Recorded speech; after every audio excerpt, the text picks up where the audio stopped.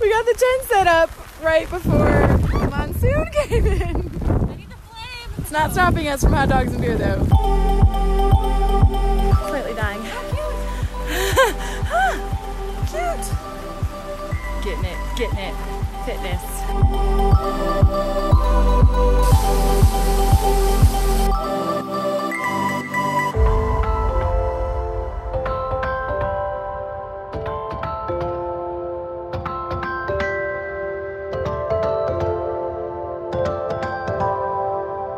What are we gonna do? We're gonna jump in the lake. We're gonna jump in the lake.